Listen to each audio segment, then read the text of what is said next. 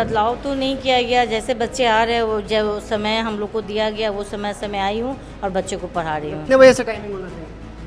दस बजे से। दस बजे से होना चाहिए। ये टाइमिंग सही नहीं है? नहीं। मजबूरी क्या कहें अब है ड्यूटी है तो निभाना है। कितने बजे आई हो? नौ बजे आए। लगभग नौ बजकर पंद्रह मिनट में आ गए। पहले छः बजे भूखे आना। हाँ भूखे आना पड़ता था और नींद भी उठ भी नहीं पाते थे बच्चा लोग। अब टाइम से उठ जाता है स्कूल भी आ जाता है। पढ़ाई में थोड़ा दिक्कत है कोचिंग में। कोचिंग हम्म, कोचिंग में पढ़ नहीं पाते मिस हो रहा है। नमस्कार आप देखना शुरू कर चुके हैं लाइव सिटीज़ मेरा नाम अभिषेक है। आज से बिहार में नए समय से स्कूल खुल चुके हैं और देख सकते हैं किस तरीके से स्कूल खुल चुके हैं। सुबह नौ बजे से लेकर साढ़े चार बजे तक बिहार में सरकारी स्कूल खुल चुके हैं। बच्चों को पढ़ाई हो रही है। पटना के मिलर हाई स्कूल में इस वक्त हमारी मौजूदगी है जहाँ शिक्षक जो पढ़ा रहे हैं मैडम आज नए समय से खुले हैं स्कूल। क्या कुछ नया समय में बदलाव किया गया? है सर बदलाव तो नहीं किया गया। जैसे बच्चे आ रहे हैं वो जब समय हम लोग को दिया गया वो समय से मैं आई हूँ और बच्चे को पढ़ा रही हूँ। क्या अब नई टाइमिंग आज से शुरू हो गई है? एक जुलाई से शुरू हो रही थी। नौ से साढ़े चार। चार साढ़े चार हो गई है नौ से आज एक जुलाई से नौ से साढ़े चार हो गई है विद्यालय। आप लोग उसी हिसाब से पढ़ा रहे हैं? हम लोग उसी हिसाब से पढ़ा रहे हैं। इस टाइमिंग को लेकर क्या कहना है आपका? टाइम को लेके कुछ भी नहीं करना है जो हमारे बताते हैं पदाधिकारी हम लोग उस टाइम से अपना फॉलो करते हैं उसी टाइम पे अपना पढ़ाते हैं। अधिकारियों के निर्देश का पालन हो रहा है? पालन करते हैं। बच्चे पढ़ रहे हैं। क्या नौ बजे आए हो? यस नए टाइमिंग से? ठीक है ना? हाँ। तो ठीक है? हाँ। तो सुबह नहीं आना पड़ता दिक्कत नहीं खाओ के आते हो। ठीक है? तो आप देख सकते हैं छोटे छोटे बच्चे पढ़ाई कर रहे हैं। क्या कितने बजे आए हो? कितने बजे आए हो? नौ बजे। नौ बजे से पढ़ाई कर रहे हो। क्या? कितने बजे से टाइमिंग होना चाहिए? हम्म, दस बजे से। दस बजे से होना चाहिए। ये टाइमिंग सही नहीं है? नहीं। सही नहीं तो बच्चे साफ़ साफ़ कह रहे हैं कि नौ दस बजे से चार बजे जो सीएम नीतीश कुमार का आदेश था उस आदेश का पालन हो और भी क्लासेस में हम आपको दिखाते हैं किस तरीके से जो है वो बच्चे पढ़ रहे हैं, उस बारे में हम बताते हैं। देख सकते हैं, पटना के मिलर स्कूल में हमारी मौजूदगी है।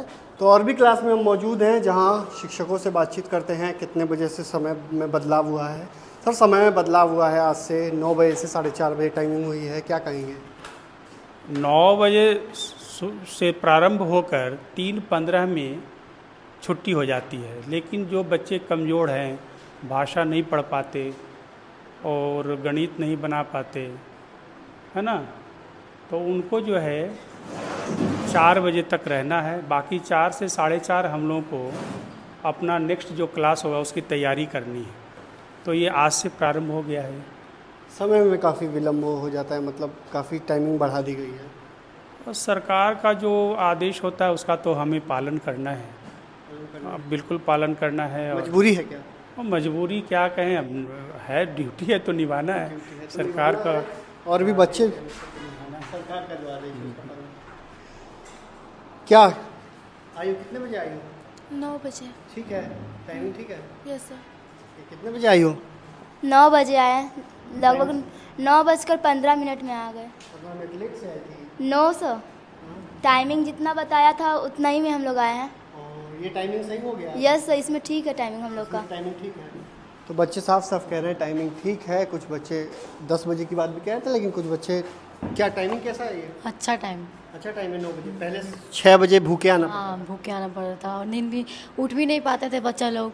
अब टाइम से उठ जाता है स्कूल भी आ जाता है टाइम से। टाइम से स्कूल भी आए कोई दिक्कत परेशानी नहीं होती नहीं।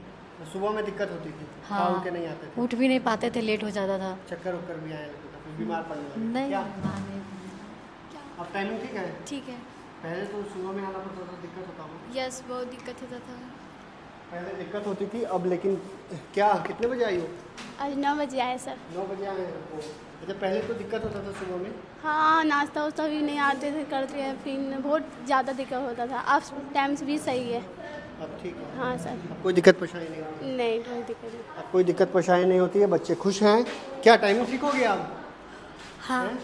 टाइमिंग सही है नहीं सुबह वाले टाइमिंग में तो दिक्कत होता था। क्या दिक्कत होता था? सात बजे उठना और आना स्कूल। सुबह में उठना होता था इस कारण परेशानी होती थी। और भी कक्षाओं में हम जाएँगे बच्चों से बातचीत करते हैं किस तरीके से शिक्षिका भी हैं।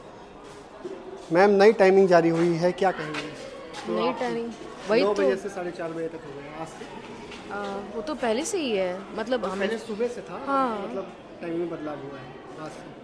आज से क्या बदलाव हुआ है? नौ बजे से साढ़े छः चार बजे तक है। वो तो पहले से ही था। पहले से ही था लेकिन अब तो हाँ तो ठीक है वैसा ही है अब क्या कर सकते हैं कुछ नहीं। ठीक है टाइमिंग नहीं दस से चार होना चाहिए। दस से चार हाँ इस टाइम में क्या दिक्कत होती है नौ से साढ़े चार में? आ, नौ से साढ़े चार में दिक्कत क्या होती है? बच्चों को होती है आप उनसे ज़्यादा पूछिए क्योंकि वो थोड़ा सा साढ़े ती, तीन पंद्रह में छुट्टी इनकी होगी ठीक है? उसके बाद हमें दक्ष पढ़ाना है। अब जिनके भाई बहन के लिए इनको भी वेट करना पड़ेगा जो दक्ष में होंगे उनके भाई बहन के लिए उन दोनों को वेट करना पड़ेगा। तो इन्हीं को परेशानी होती है। शिक्षकों को परेशानी होती बच्चों की परेशानी को लेकर शिक्ष और भी क्या? कितने बजे हो हम लोग नौ बजे आए हैं स्कूल। ये टाइमिंग क्या सही है? हाँ सही है अच्छा है। अच्छा टाइमिंग है। हम्म, लेकिन मॉर्निंग रहता तो ज़्यादा अच्छा रहता हम लोग के लिए। कई बच्चे कह रहे हैं कि मॉर्निंग में उठ नहीं पाते थे। नहीं हम लोग आ जाते थे लेकिन मॉर्निंग रहेगा तो ज़्यादा अच्छा है क्योंकि हम लोग का कोचिंग का टाइम भी तो रहता है ना। हम लोग यहाँ से स्कूल से चार बजे ही जाएँगे तो कोचिंग कितने बजे स्कूल जाएँगे? में पढ़ाई होती है कि नहीं? हाँ होती है। पढ़ाई होती है हाँ होती है। क्या कितने बजे आई हो? नौ बजे आए हम। नौ बजे आई हो टाइमिंग सही है टाइमिंग तो सही लेकिन पर दस से चार बजे तो ज़्यादा अच्छा है क्योंकि सुबह में भी सब कोई बच्चा होता है ना कि लेट उठता है तो उसको सुबह में उठने में देरी होता है तो दस से चार बजे अगर ज़्यादा अच्छा रहेगा। दस से चार। हाँ। क्या टाइमिंग सही है कि नहीं? अच्छी है। अच्छी टाइमिंग है। सुबह में तो उठ नहीं पाते थे? नहीं उठ जाते थे। उठ जाते थे।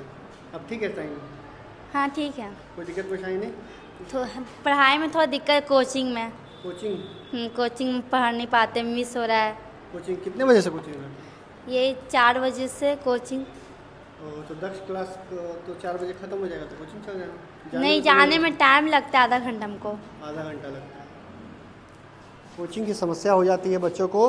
वहीं आपने सुना कि नई टाइमिंग के बाद बच्चों ने क्या कुछ कहा? कई बच्चे खुश हैं तो कई बच्चे कई बातों को लेकर कह रहे हैं दस से चार की भी मांग कर रहे हैं शिक्षक भी दस से चार की बात कह रहे हैं लेकिन कई बच्चे और शिक्षक खुश भी नज़र आ रहे हैं। तो भाई रही लाइफ के साथ हमारे यूट्यूब चैनल को सब्सक्राइब करिए पेज को लाइक करिए। बदलाव तो नहीं किया गया। जैसे बच्चे आ रहे हैं वो जब समय हम लोग को दिया गया वो समय से मैं आई हूँ और बच्चे को पढ़ा रही हूँ। कितने बजे से टाइमिंग होना चाहिए?